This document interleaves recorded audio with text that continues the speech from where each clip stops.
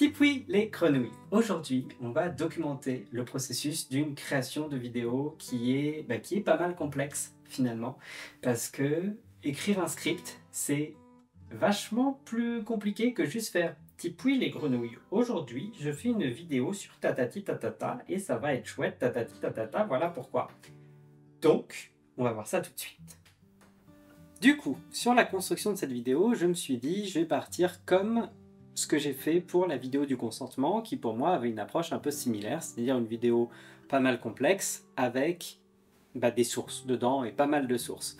Donc du coup, ce qui s'est passé, c'est que au fur et à mesure, à partir du moment où j'ai décidé de commencer à taffer sur cette vidéo-là, ce qui veut dire que en vrai, je bosse sur plusieurs vidéos en parallèle en même temps, tout le temps, euh, j'ai ma page Notion dans laquelle je mets tout un tas de trucs. Au début, c'est juste des sources, des vidéos YouTube en mode Ah, j'ai vu ça, ça peut faire l'affaire. J'ai vu cette quote, j'ai vu ce tweet, j'ai vu ce thread. Je rajoute tatati tatata. Et quand je me décide à m'y mettre, je taffe le truc et je transforme toutes ces, toutes ces notes, ces, toutes ces sources en tout un tas de petits points. Euh, et après, je peux me mettre à écrire, j'écris mon intro, puis genre, je suis en mode, ok, bon, j'ai écrit mon intro, qu'est-ce que je vais mettre après? Je regarde ma liste de points, tiens, ça, ça a l'air d'être bien, je vais utiliser ce point-là, et je, construis ma vidéo au fur et à mesure que je l'écris. Et là, c'était pas trop possible. Euh, déjà, je me suis rendu compte que la vidéo qui était dans ma tête, qui existait dans, le, dans mon arrière-plan cérébral, si on peut appeler ça un cerveau, euh, était globalement un manuel de comment baiser Yuffie. Et je me suis dit que c'était pas une vidéo pertinente à mettre sur YouTube. Parce que même si ça peut intéresser des gens, c'était pas, pas ça que je voulais. C'était pas le but. Euh, du coup, je me suis dit merde, il faut que je sorte de mon expérience personnelle, il faut que j'aille chercher d'autres choses, il faut que j'aille chercher d'autres choses en dehors des sources qui, moi, me confortent dans mes idées. Et du coup, j'ai décidé de faire passer des entretiens. Et je crois que j'ai fait passer genre 18 entretiens qui, des fois, ont duré une heure. Avec plein de questions, tout le temps les mêmes, pour un peu cerner tout un tas d'expériences différentes de personnes qui vivaient euh, l'intersection entre le kink et le queer. Oui, parce que c'est une vidéo qui va parler de kink et de queer, je sais pas si c'était encore évident.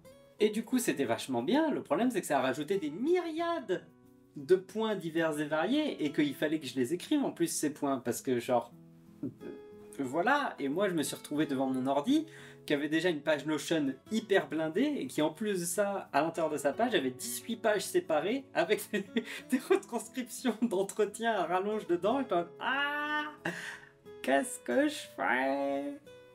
Donc, ce qui s'est passé, c'est que je me suis rendu compte que le Notion, il arrivait à ses limites et que numériquement, j'arrivais pas à voir comment je pouvais faire à la fois ma prise de petites notes et à la fois garder les choses visibles, et à la fois organiser les 18 entretiens et les machins, et extraire tous ces trucs-là.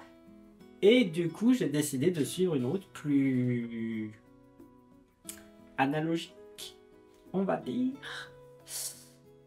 Et à la base, je me suis dit, bon, je prends mon masking tape, et je fais trois lignes, trois colonnes, et je vais poser les trucs un peu comme je le sens, et ça va me faire trois parties, avec trois sous-parties dedans, et ça va être propre, ça va être chouette, ça va être la dissertation, trop bien.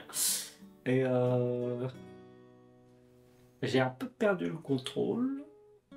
Donc maintenant on se retrouve avec ça, en sachant que du coup j'ai commencé à labelliser après avoir posé les trucs. Donc j'étais en mode ok ça va bien avec ça, ça va bien avec ça. Et puis au bout de quelques ans j'étais en mode ok je vais appeler ça avec ce nom complètement débile qui n'a aucun sens, genre Are the Straits ok? C'est une case.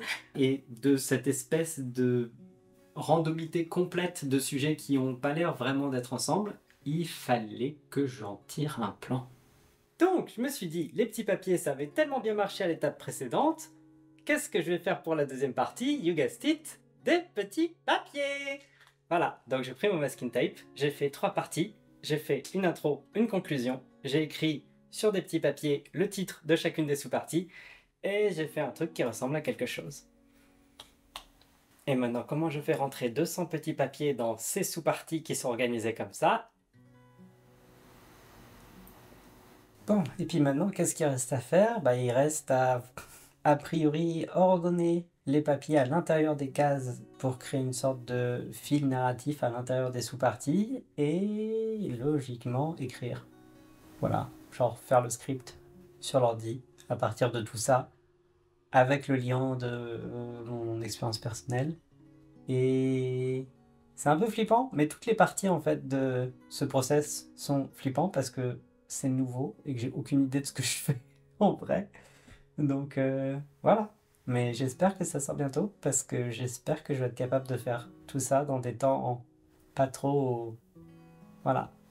Les bisous!